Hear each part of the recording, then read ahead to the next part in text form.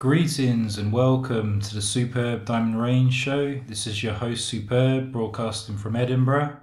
Today's date is the 12th of March 2015, and in this episode, I'm going to be discussing homelessness.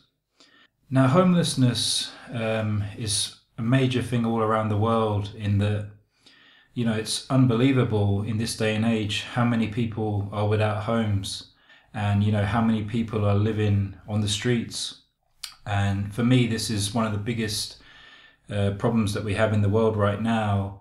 Um, I remember being in um, Philadelphia and New York, and when I first visited the United States, and going to bus stations where you had homeless people um, going into the bus station, uh, sort of taking a seat in the sitting area uh, just to try and catch some sleep. So they would sort of be sitting in the chair um, and then sort of falling asleep sitting down or, or even standing up, depending on the situation.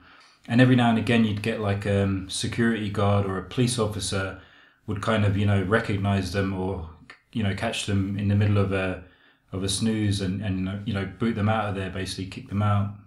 And, you know, they used to just use that place as a kind of place to, where it was warm and you could, you know, this was like a really cold winter in America so that was like their you know refuge i guess whenever they were you know in between homes. And you know quite a lot in london i remember seeing a lot of people uh, living out of the cardboard boxes on the streets. And you know every now and again i would if i if i had some spare change i would always offer it to them. Um, but i was always advised to you know maybe give them something like a, a soup or a sandwich or something um, you know rather than money because a lot of people used to say that oh, if you give them money, they'll probably just spend it on alcohol, kind of thing. Um, but I guess alcohol has its advantage, you know, especially like things like whiskey and things like that, in that you know it might keep them a bit warm, I guess, when the winter comes, um, make them feel good, I guess, as well, because the situation's so bad. Um, ultimately, I, I, just can't believe that there's so many homeless people, and and the worst um, is, you know, when you get families that are made homeless you know, with really young children, and it's just really, really terrible. And for me, one of the things I've learned about it is, you know, I sort of feel that in this day and age, we should all be have the right to a home. Um, now, I'm not suggesting like we all have massive mansions, you know, or anything like that, but just a home adequate to our needs, and you know, with enough rooms to kind of fit our families in. And I feel that, you know, all of us should have that right, and um, things like food as well should be you know taken care of as well really to be honest um, and energy. Um, ultimately you know if you want to go and do a day's work then the extra work you do should be going towards buying the things that you like be it computers electronics fashion or whatever but you should have the basics you know should all be provided uh, which i think would be a much better system to operate in. Um, the way they've kind of made it is is that we need to pay for everything now and if we're not working then we can't pay our bills, so we end up homeless. And you know, not everybody has sort of family to fall back on, uh, or friends, and you know, uh, people that will look after them. And you know, in some families, um, you know, they might have had a fight, a row, and they'll get you know kicked out of the house, and they'll have nowhere to go. You know, they'll try friends, they'll try families. They might be able to stay with a friend for a little while, but after a while, they become as the saying goes, like a bad smell. So they, they you know get asked to leave and, then they end up nowhere. And you know some of them, I'm sure. I mean, people will say we're living in a like a welfare system that you know you can always go there and ask for help and you know and i'm sure a lot of them have tried this and you know maybe it's not so easy it's you know a lot of paperwork involved and you know they might not be so helpful at the job center and um, I think there are people obviously that choose it as a kind of lifestyle. You know, they actually um, don't really want to work or don't want to, you know, operate in this system of commerce. So they they prefer to kind of live on the street. Now I know that's not always the case. It could be just that they feel that they have nowhere to go or they, they have nobody to kind of help them. I mean, you hear now of a lot of charities that are out there that try and help. Like, obviously, one of the big ones is Shelter. Um, there are smaller ones obviously around. Um, I mean, at the moment, I'm um, planning to do the Edinburgh Marathon for um, uh, Rock Trust, which I believe helps young people um, in in difficult situations. So, um, you know, I'm happy to sort of raise some money for them to try and help them because obviously, hopefully, it will go to the right place, and you know, these people will get the help that they need. Um, I think it's very difficult in that um, a lot of people judge homeless people as well. I mean, in America, they have a term, they, they call them bums. And I remember seeing a YouTube video about a homeless guy that, you know, he was sort of trying to explain his situation, why he ended up homeless. And he was sort of saying that, you know, it's really difficult to, to have to beg and to ask people for money. And, you know, a lot of, a lot of people just, you know, swear at him or, you know, just uh, make fun of him kind of thing. And it was just really, really sad. Like, um, again, I just think we should all be allowed to have some kind of housing. And, you know, I think in a way, by law, they kind of do have to house us, but a lot of people don't know their rights and maybe don't know how to do the paperwork involved, or, you know, not enough people come forward to help. I mean, there are services like the uh, Citizens Advice Bureau, and I mean, I've I've used them in the past, and I, I find them really good. I mean, they give you a lot of good information. Uh, they they sort of you know, they might not just tell you where to go, but they might actually call for you as well, make a phone call and try and help you, you know, figure out what you got to do, um, you know, and put a word in for you almost to try and help you. So, you know, there's definitely places to turn. I mean, some people will, will argue as to how much they can help you and how far they can go, because there is obviously a lot of bureaucracy as well out there. And again, that's another thing that I think needs to be overcome, you know, because I just think in this day and age, like nobody should be without a place to go, you know, some kind of home, you know, something that they can call home. Um, another big thing, obviously, is like people with mortgages and they might have a really big mortgage and work's going really well. And then, you know, maybe the wife or the husband loses their job. You know, they go from sort of dual income to single income and, you know, all the bills and all the expenses that they have just build up on them. And again it's really hard to you know kind of come back from that. And you know you might be able to get through the first three months or six months but after a while it just becomes really tough. And therefore you you know you, you can't make your payments. And and then they sort of you know do a repossession or an eviction you know on, on the people. And again it's just really really wrong. I mean again, I think that there should be a certain time that they give the people to kind of recover, and help should be given to sort of get them back to where they were. Um, I think that's one of the things that you know. I mean, they should be allowed a break basically from their mortgage, if anything, to kind of regroup and rebuild and move on. That that would definitely be the best uh, way forward in in that scenario. Um, you know, there's been a housing crisis as well, where you know they were kind of giving out mortgages that were people couldn't really afford, but they you know thought that there was an opportunity to make money there, and you know people were getting houses bigger than what they could really afford, and you know they ended up losing them, and it's um, you know, and also like stories in America where your house is not worth hardly anything, it's gone like down in value maybe by half, and it's almost like they do this thing called a strategic default where they just feel like they can't make the payments so therefore they better just kind of call it quits and just leave basically. And it obviously it damages their credit and probably they've got six or seven years until uh, the credit is forgiven um, or they might have to declare themselves bankrupt or whatever.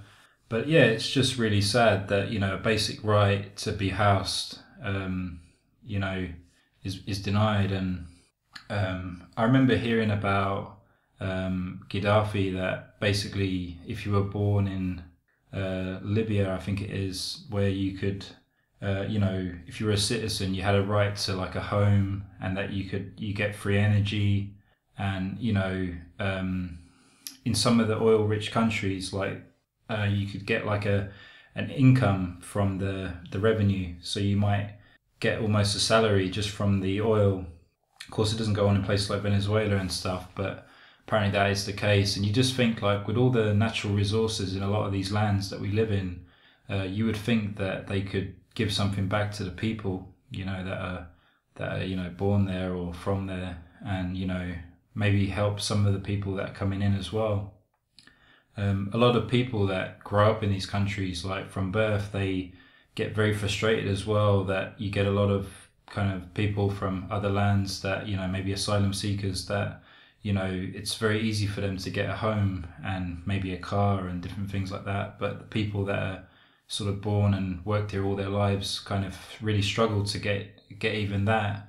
And you know that causes a lot of you know um, division um, as well within the society we're operating in. And you know it's a real shame because um, I think if you're you know out there working, contributing to the society, then you you know the very least thing you should have is is a home or a place to go. And again, I'm not saying it has to be massive and you have to have a massive garden and everything else. It just needs to be a place where you can put your head down, you know, at the end of, end of the day. And again, if you want something bigger and better, then obviously the, the option is that you have to go out and work for it or earn the salary to kind of, you know, um, to, to, to attain that. And I think that would be a lot better. I mean, I've always felt that obviously your home should be a right. Um, electric and gas should be a right. You shouldn't have to pay for it. Uh, you know, it should be free. And obviously, food as well. That, you know, if we're all in a position where we could grow our own, so if we had some kind of land, whether it be an allotment or our own garden um, or, or someone else's garden that they were willing to share, like a plot, and you know we can kind of grow our own uh, potatoes and cabbages and what have you. I think that would be would be a lot better. Um, I, I just feel like it must be the most horrible feeling to find yourself homeless. And I mean, a, a close friend of mine um, back in the day, like he had some family problems, and um, you know there was like a lot of fights within the family, and a lot of the sort of brothers and sisters got kind of booted out and um, basically uh, were told to you know go and do their own thing. But of course they they didn't have you know the means to kind of go out and find something else. So they were you know had to declare themselves homeless and you know go to the uh, to the town hall and basically with a bag and just explaining that you know got nowhere to go. And and usually what they would do is they would find a a bed and breakfast for you, um, you know, where you could stay sort of temporarily, and then that would move on to possibly sharing a, a flat with somebody else in a similar situation, uh, to maybe down the road attaining your own flat that you could sort of call your own. And um, you know, I've spoken about it in the past that a lot of people believe that the council is is there to kind of you know help and you know and I'm sure in some cases they do help but but in many others they they're not so helpful. Um, again, you know how they sort of look after people that you know um, say grew up in the land that they're in. I mean, I, I know people in other countries around that have said similar things, and they sort of feel that they get treated um, less uh, less well than you know people from other lands that that come to live there, sort of thing. Um, countries like Sweden and Ireland and, and places like that. And, you know, in my opinion, everybody should be treated equal, you know, because we are all equal after all. And um, it's important to remember that. And I think that when people forget that we're not equal, is when all the, you know, the problems start and we start to divide. And, and again, I mean, I don't feel any better than somebody homeless or anybody with millions of pounds, I, I feel I'm, I'm exactly equal to them. I've got equal standing. I don't see any difference at all. And, you know, anybody that is homeless or poor, I just think that, you know, they, they need to be helped and given a place to live and supported, you know, because it is tough because obviously they're going to go through a lot of things. Um, you know, they might um, have suffered a lot, you know, in, in, in, you know, they might have been lost family members, you know, anything could could have happened. So they they definitely need like help, and I think it's important that we provide that. And I mean, within our own communities, you know, if you see any homeless people, go over to them and you know start making conversation and ask them how they're doing. You know, if if you can help them, if there's anything they need, you know, they might ask you for a favor. You know, and if you can if you can provide that, then by all means do it and you know i mean always be willing to help out in the local community to try and support everybody within it so that we're all kind of you know again um, looking after each other like a real community. Because another problem in the world today is a lot of people don't care about each other. I mean, they talk about countries in the world like where you know the divide between the rich and the poor is so vast that they you know they don't care at all for you know the poor people basically and you know you go to places like south america where you have like the barrios and you know people are really really poor. And you know even places like china i remember hearing about um, there's families in villages in china that have like one pair of trousers for the whole family and one you know top. So they would have to you know just to go into the village to collect something they you know each child would have to put on the same trousers just to make the journey. And you know you think about how many items of clothing people have nowadays you know to to, to be you know down to just one pair of trousers for a whole family and one top you know one pair of trainers even so it just shows you the, the difference and people think that you know like the working class think they're not they're not doing so well or they're not you know but look at all the things they've got i mean most people now have got like two cars and you know things like that. So you know, and and a sort of decent house, I guess. So you know, there's a lot of there's a massive difference between you know again all the different classes and again I don't even get really want to get into classes because I, I still believe we're all equal. It's just that it seems that we've been like you know divide, divided and categorized and named. You know, you know, there's a lot of name calling out there that people, you know, give, and um, I think it's quite quite wrong. But I mean, um, one of the big things for the poor people in places like South America, obviously, is you know they start to turn to crime. So there's, there's a lot of robbing and stealing going on, and you know they they go around in gangs killing each other. You know their own kind of community really, um, instead of all kind of staying together. I mean, one of the things that that really shocked me about uh, when I went to Venezuela was that um, the poor people would um, build their own home because they couldn't get a home, so they would basically build their own uh, houses um, on in the mountains, and basically, you know, they would have like houses on top of houses type thing, and you know, I kind of like the idea of it that you know, without any sort of planning permission, they could do it, and I mean, a lot of people say, oh, it ruins the view of the mountains, and but you think that if the government cared about the people, then surely they would, um, you know, build some houses that they could live in. But instead, they've left it up to them, to their own devices, to basically go out and build their own home. And and uh, you know, anybody that lives in in um, in Britain or you know, they, they'll know that if we tried to build our own home, that you know, within a few days, you get a bulldozer come around and you know knock it all down, and you know, you probably end up in prison. So, you know, it's amazing that in that part of the world you can actually build something, whether it will be there forever, whether it's just temporary housing, who knows. But the fact that they were able to, you know, get the bricks and the cement and put it, build something uh, that they could call home for a time was pretty impressive. And again, there was uh, little consequences. I mean, I know that in Venezuela in particular, there was talk of uh, the government were going to provide some houses to, you know, the poor people um, but they were never going to give them the title. The government was going to keep the title. So what that basically meant was at any time that they choose, they could you know kick them out or or you know maybe just sell them on the open market or or just bulldoze them. So it was kind of you know it's one thing offering them houses, but if they don't get the title, then that's something else. And a lot of people with mortgages don't realize that the the deed of the mortgage um, has them down as a tenant um, and basically, you know, it's all about title in this world that basically we, um, you know, nobody really owns anything. You just have title in the same way that you have a car. Um, you know, you're the registered keeper. You're not the registered owner. So you don't own the car. You just you're just the keeper. And it's the same with a mortgage and everything. I mean, it's partly to do with why you have to pay a tax because normally you pay a tax on something you don't own. And um, I think it's called a low allodial title, which is basically where you kind of get the the proper title in that you really own the property. But unfortunately, um, for most people, they never get that. They just get like um, you know tenant status basically. So it's one of the reasons why a lot of people like, well, I've paid off my mortgage, so they they can't really take my home. But of course, if you stop paying your tax, um, they can then yeah, take away your car, take away your home.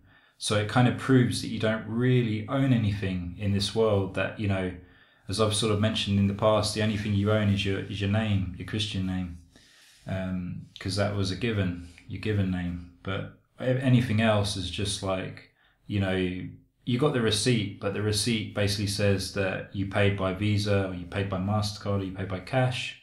You know, you don't really own anything. It's um, just the way it works, and it's just really, really terrible um, that you know they won't give people the full right to it because then obviously when they get that, it can't be taken from them, uh, which is part of the game that they like to you know um, take things um, because you know it kind of puts them in a stronger position than than us, kind of thing.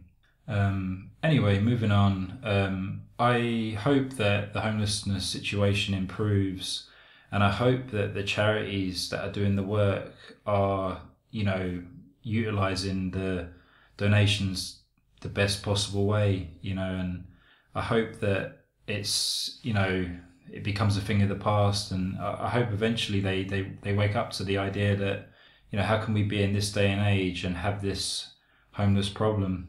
Because another thing that I, I could never understand was um, foreign aid that the each country give. Don't get me wrong. I know that there's a lot of money that the rich hold and they, you know, don't really use. Um, so obviously, it's one thing that they've got lots of money and they're not, you know, helping somebody.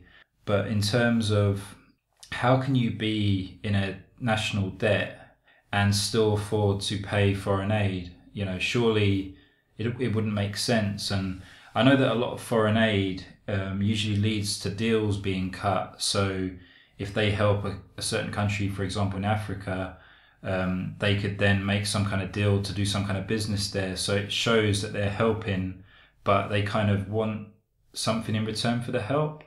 Similar to rich people when they um, they they support a charity, and then when it comes to time to pay tax, they get tax write offs for you know um, all their charity that they do. Um, similar thing with foreign aid. I think they give a lot of it to get a kind of you know it's more to get a return or to save on the tax bill um, and to get some kind of follow up business out of it.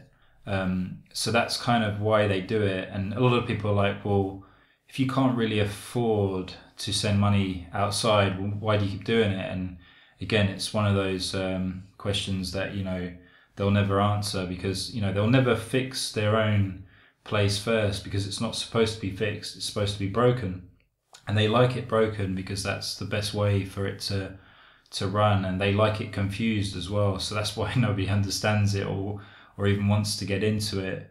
Um, I think it's Socrates said something like, um, "An unexamined life is not worth living," and you know I think that's what goes on a lot. They make it so confusing and so wild that nobody really wants to get to the bottom of it, and I don't really blame them because to me a lot of it is just puke. You know, it's just I'd rather not learn about it. I'd rather just worry about you know what I'm doing and not what really they're doing because I don't really you know really get what they're doing. And i think it's a lot of uh, confusion and mess.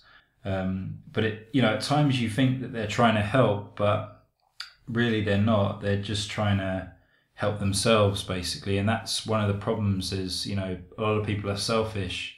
Um, you know they'd rather selfish than give fish you know? So it's kind of it's always been that way it's like they won't do anything for for the for the for the want of just doing it they'll they'll always do it for some kind of um, reward, and I feel that that is the biggest problem out there right now.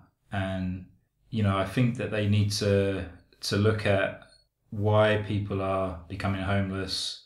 Um, you know, what's behind it? You know, is it the bankers? You know, is it the the interest rates that are out there? the energy companies keep putting their prices up instead of kind of keeping them at a decent level. Um, why are they even charging us for it? You know, um, surely we pay a lot of tax. Could that not pay for for these things? You know, um, it's one thing like you know taxing people, but if we're not really getting anything for it, you know, in return, then you have to ask yourself why are we paying it? You know, why why? Um, I mean, I understand that we're sort of operating in a world that we don't like. You know, you know they, they, they, they make all the rules and we have to kind of follow them, but um, it just doesn't seem to be very very fair. And you know, I've got my hang-ups about that, obviously, as you can tell. but but yeah, I mean, all I want is much better. Um, treatment of the people and for everyone to have a home and to be equal and for it, them to tackle the homelessness problem. And, you know, I think it's important to support the families and children and, you know, um, improve their situation and, you know, so that they can build on it and go, go wherever they want to go. Um, I know there's been many stories of people that were homeless that were able to turn their life around and, and I think that's great as well and I think that that's what we should all be doing is trying to better ourselves and you know and in helping others you can better yourself as well. And again that's not trying to do it for a reward. That's just to bring everyone up.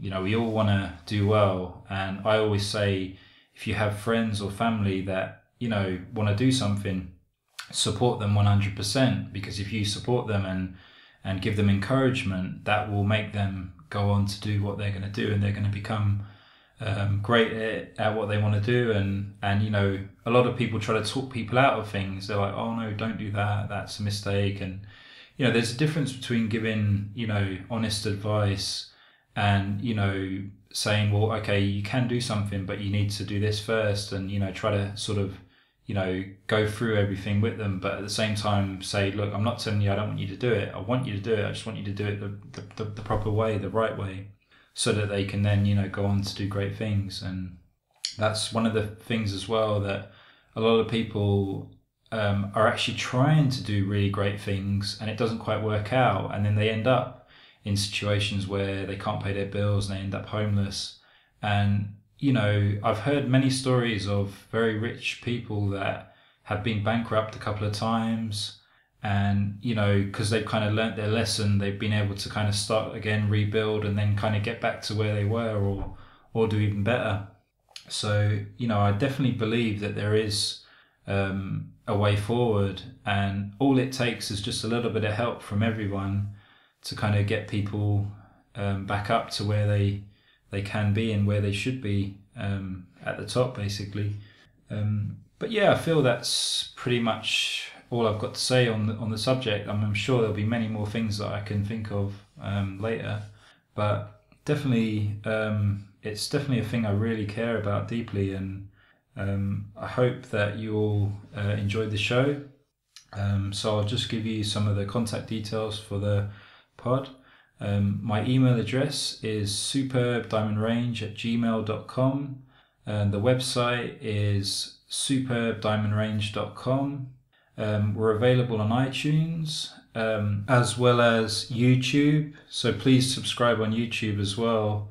Um, thank you all for listening. Peace.